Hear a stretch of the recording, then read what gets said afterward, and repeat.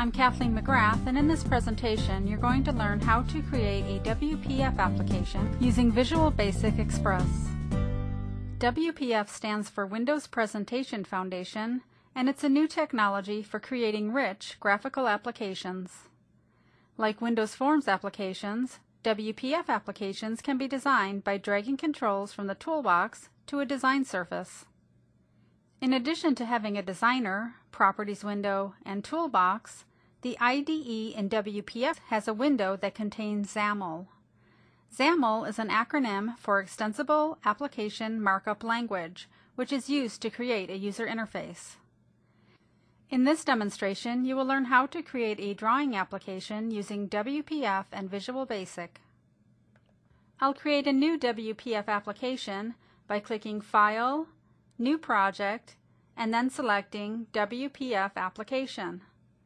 I'll call this InkPad and click OK.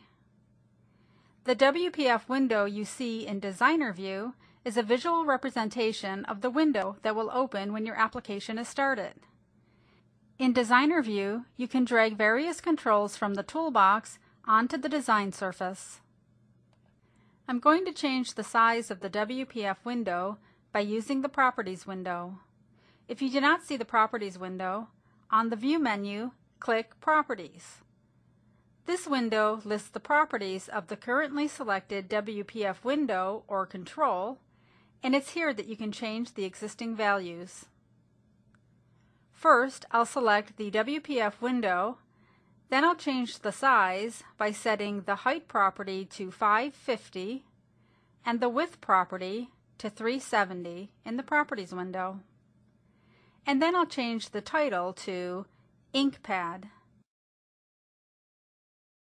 Notice that the title changes in the title bar. Next, I'll change the background property of the WPF window by clicking the drop-down control and selecting a color. The WPF window changes color. Now I'll add some controls to the form from the toolbox. If the toolbox is invisible, you can open it by clicking the View menu and then clicking Toolbox. I want to add an ink canvas control, but I don't see it on the toolbox. To add it, I'll right-click the toolbox and then click Choose Items. In the WPF Components tab of the dialog box, I'll scroll down to Ink Canvas and select it. Then I'll click OK to add the Ink Canvas control to the toolbox. Now I'll drag the Ink Canvas control from the toolbox to the WPF window and I'll set the following properties for the Ink Canvas control in the Properties window. For width, I'll set Auto. Height should also be Auto.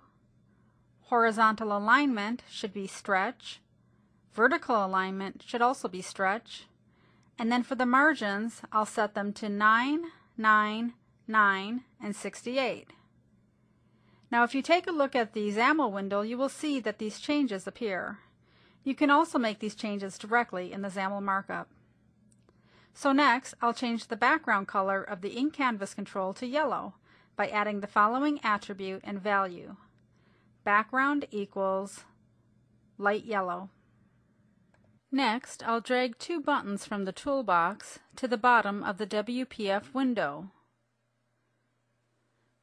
Now I'll select button 1 and make some changes in the XAML markup.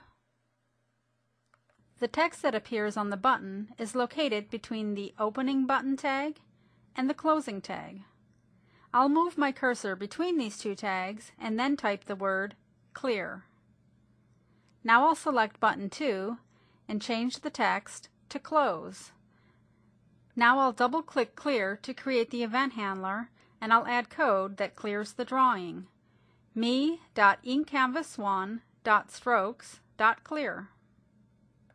I'll right-click and then click Designer to change back to Design View.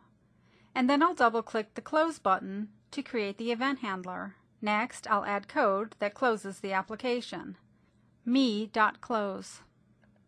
I'll press F5 to run the project and when the application opens, I'll draw a picture in the Ink Canvas control. If I make a mistake, I can click Clear to start over. Then I'll click Close to close the application. You can get more information about developing Visual Basic applications in the Visual Basic Guided Tour. You can find other resources such as technical articles and videos at the Beginner Developer Learning Center.